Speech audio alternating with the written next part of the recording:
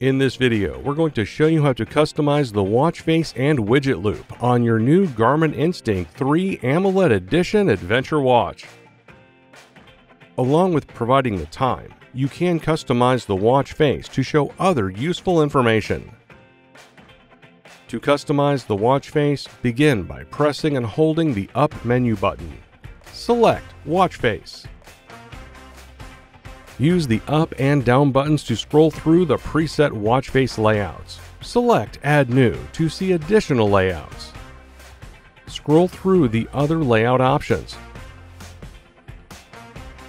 To select the layout, press the Start Stop GPS button.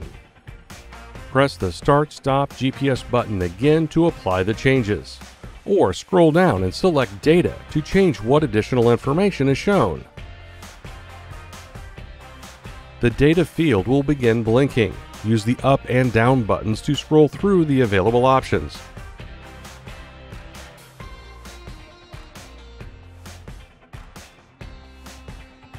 Press the Start Stop GPS button to confirm your selection.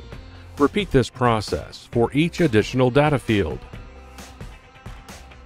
When you have finished, you will return to the Customization menu. You can also adjust the watch hands, accent color, or data color. When finished, select Apply. Next, we're going to show you how to customize the widget loop glances. When you scroll up or down through the pages on your Garmin Instinct 3 AMOLED Edition watch face, you are scrolling through the widget loop glances. Widget glances provide quick access to essential information, such as heart rate, steps, and notifications. Some widgets require a connection to your compatible smartphone. If you did not pair your smartphone during the initial setup, see your owner's manual for pairing instructions. To customize the glances, begin by pressing and holding the Up menu button. Scroll down and select Appearance.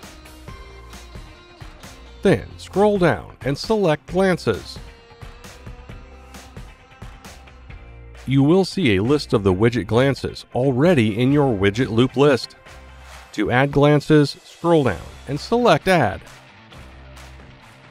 Now scroll through the list of available glances. Press the Start Stop GPS button to select the glance you would like to add. When you are done adding glances, scroll down and select Done. You can also change the location of the glance in the widget loop list or remove a glance that you do not want to see. To do this, begin by selecting the glance that you would like to reorder or remove. Use the up and down buttons to reposition the glance on the list. Press the Start Stop GPS button to confirm its new location.